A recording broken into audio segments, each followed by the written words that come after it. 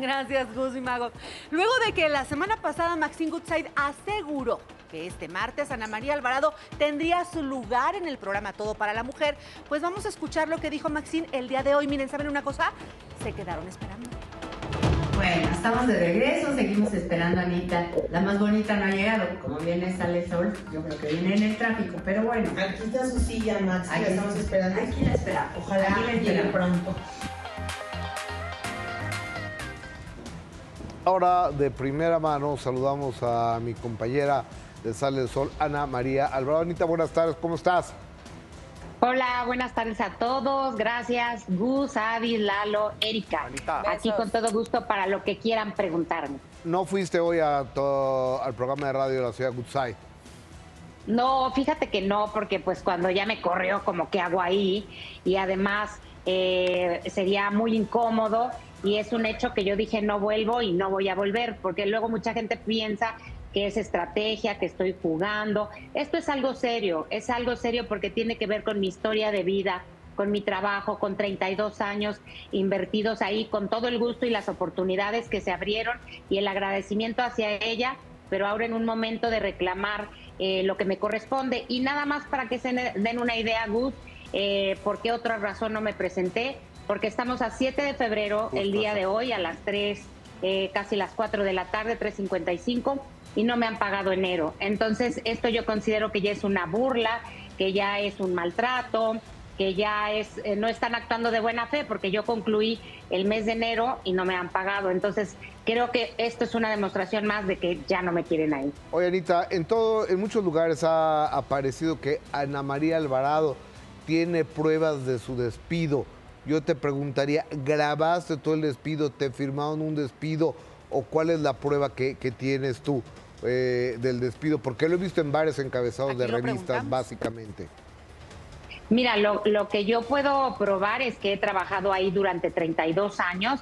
Tengo todos los documentos que voy a mostrar en su momento que avalan mis recibos y todo lo que prueba una relación laboral. Claro. No tengo pruebas de ese día porque yo no iba con mala fe ni con mala voluntad, yo iba con el afán de resolver las cosas con Maxine, pero se convirtió en una serie de reclamos de su parte a la mía y yo en realidad no pude ni decir nada, o sea, solo ella pues me dijo lo que no le gustaba y lo que no le gustaba, nunca preguntó cómo te sientes tú o qué es lo que está pasando y pues como acabó en despido, lo que yo puedo probar perfectamente es la relación laboral desde hace Claro. tantos años, puedo probar que ella es la que me paga, puedo probar que ella es la que me contrató, puedo probar que la empresa de su hijo Fernando es la a la que le emito los recibos y por lo tanto la paga la recibo de ellos. Claro. Anita, te mando un beso y justamente lo que, lo que hizo Maxine el día de hoy, lo chequé con un abogado y decían que obviamente eso era, un- era como una presión y también para decir que había un abandono laboral, que obviamente al, al justificar un abandono laboral lo manejan como, como una renuncia eh, justificada. Entonces, ¿cómo te sientes al respecto? Porque a pesar de que tú la semana pasada dijiste no voy a ir, todavía dijo ya viene, está camino para acá, seguramente le agarró el tráfico. Pues lo que pasa es que quiere desviar la atención hacia lo que no es realmente importante. Quiere desviar porque ella no quiere eh, reconocer sus obligaciones legales, que yo lo he dicho y lo insisto. No quiero abogados de por medio, no quiero líos, no quiero demandarla porque la quiero, la aprecio, la admiro, la respeto. Solo pido que se cumplan eh, pues una liquidación como debe ser y aún estoy esperando a recibir órdenes o instrucciones tanto de ella como de su hijo para ver en dónde nos juntamos, cómo conciliamos y poder cerrar este capítulo en paz.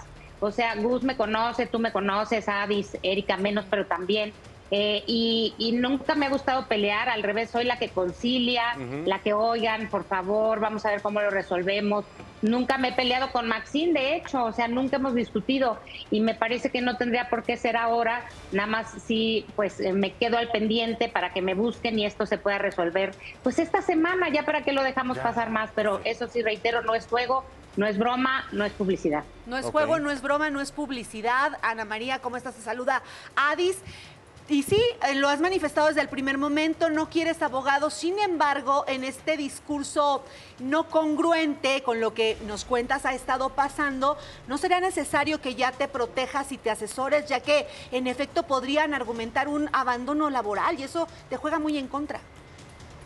Sí, pues yo voy a dar de plazo, o sea, sí quiero que si me buscan sea pronto, porque tampoco me voy a quedar instalada en esto esta semana, porque luego ya dicen, bueno, tanto rollo y mejor haz lo que debes de hacer.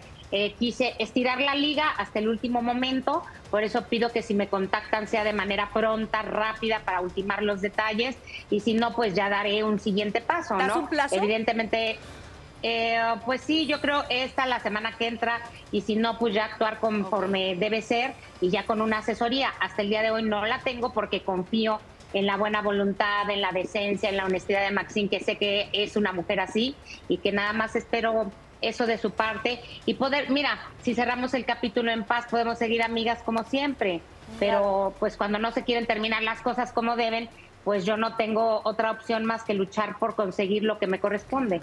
Anita, y a nivel personal, ¿qué sentiste al ver este video? El que pongan tu silla, el que no has llegado, el que lo expongan de esta forma. ¿Qué es lo que te hizo pensar de primera instancia? Y también nada más aclarar que tú sigues trabajando entonces para Radio Fórmula, ¿cierto? Sí, eh, yo sigo trabajando para Radio Fórmula en mi plaza como reportera.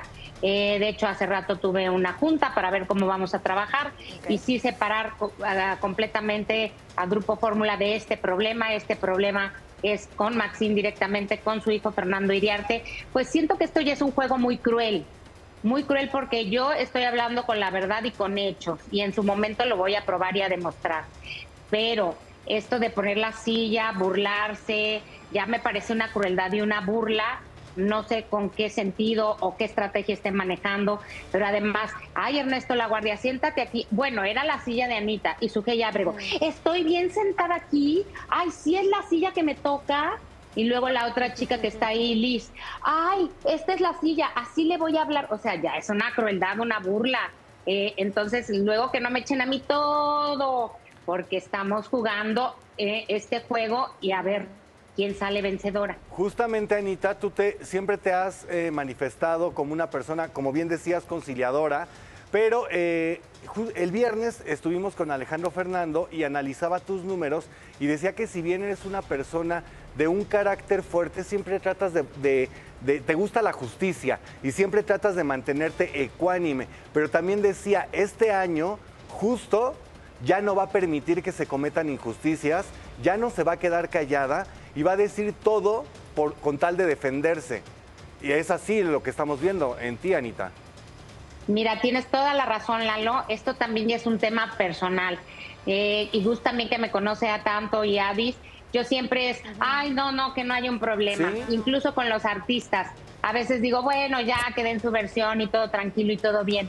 Pero a veces de buena gente pasas a tonta con otras palabras. Sí, ¿no? Entonces, también como tema personal, yo me he propuesto, mira, no sabía lo del numerólogo, pero me he propuesto que cuando no sea algo justo, decirlo, alzar la voz, decir la verdad y ya no quedarme callada, porque entonces, como decía el numerólogo, eh, me guardo todas las emociones.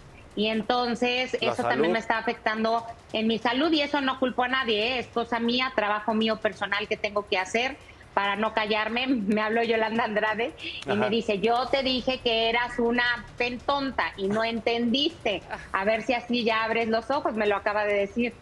Me Sí. dice, ya ves que se siente decir la verdad y que la otra parte diga mentiras y a lo mejor nadie te crea. Ya me puso en, su, lu- en mi lugar prontamente, pero, pero sí, es un trabajo que tengo que hacer, enfrentar las cosas y decir lo que siento y lo que pienso, ya sin importar si se enojan, se molestan o lo que Pues sea. modo. O- oye, Ana, a ver, eh, Anita, a ti te ha tocado durante muchas que ibas en, en Grupo Fórmula con la señora Maxine Goodside, la salida de Fabián Lavalle, la salida de Verónica Gallardo, la salida Alex de Alex. Caffi, la salida de Gudini. Moisés. de Gudini, de Moy, de, no sé, eh, seguramente eh, habrá más.